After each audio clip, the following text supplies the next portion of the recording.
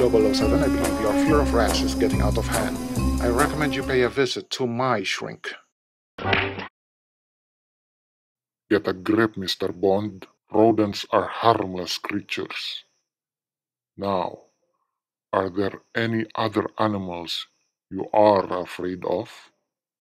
Squirrels? Get a grip, Mr. Bond. Rodents are harmless creatures. Now, are there any other animals you are afraid of? Bats? Get a grip, Mr.